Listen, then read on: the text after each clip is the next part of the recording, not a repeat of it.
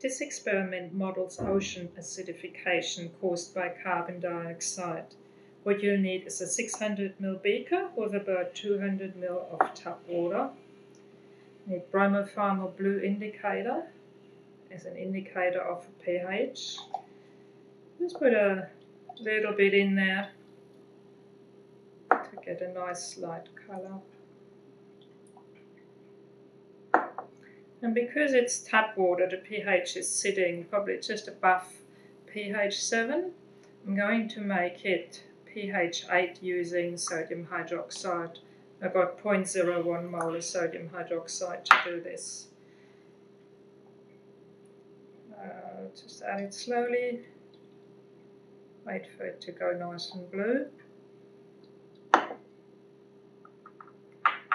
So now the pH is similar to ocean water. And I need a 70 ml specimen jar. I'll take the specimen jar to the side of the beaker, to the inside of the beaker. So put it in. Make sure the bottom of the specimen jar is just above the water level and the top is below the rim gonna add some marble chips to the specimen jar, followed by about 30 ml of 2 molar hydrochloric acid.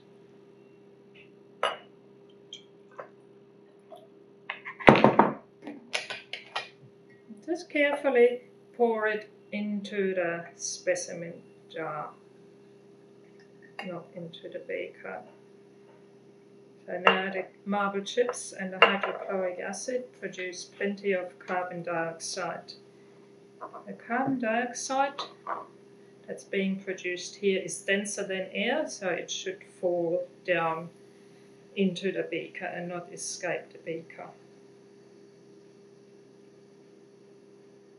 We're creating an atmosphere with a high amount of carbon dioxide and the carbon dioxide from the atmosphere in the beaker should be absorbed by the water in the beaker below. Now, as carbon dioxide is absorbed by the water, it will turn more acidic. So we should see a pH change from blue to green to eventually yellow. This may take a while, From the top I can already see streaks of yellow. You can sort of see currents going on, probably still from when I was swirling the beaker when I added the indicator. We'll see how it comes out on camera. The longer you can leave the beaker standing before you start the experiment, the better but it will take longer because the less movement, the longer it takes for the carbon dioxide to be absorbed by the water.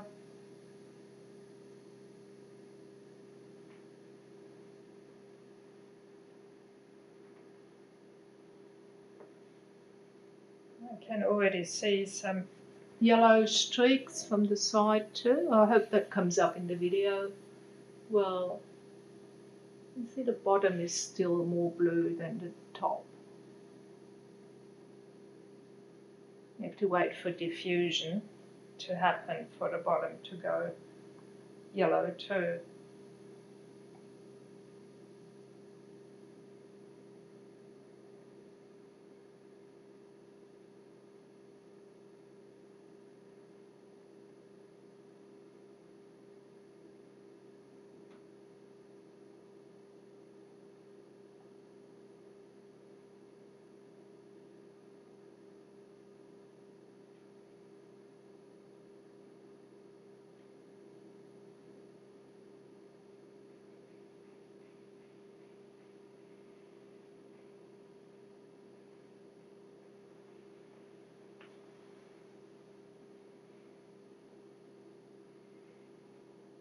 If you get bored watching it, you may want to do a fast forward. I'm going to leave it to all go yellow.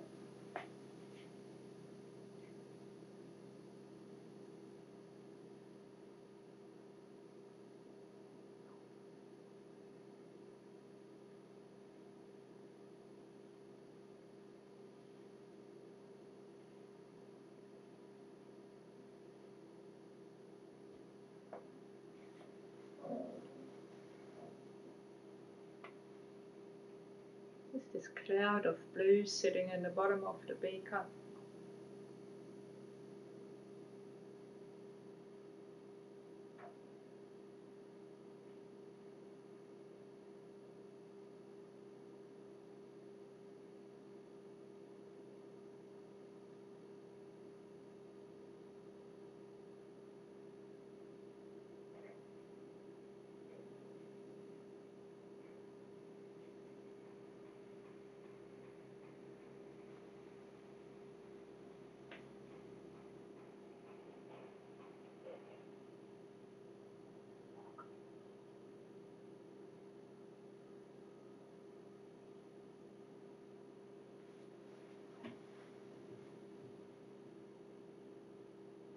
Think the water was slightly warm when I got it out of the tub. This is why it worked so fast to start with.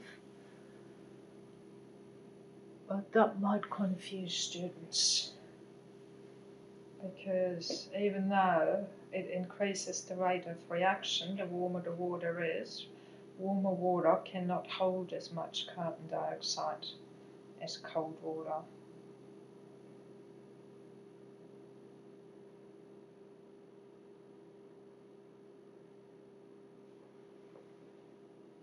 It's a bit steamed up too.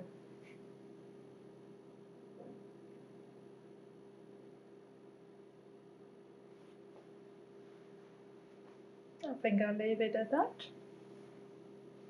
Try a little zoom in and hope it doesn't ruin the video. Oh, that's nice. That's really nice.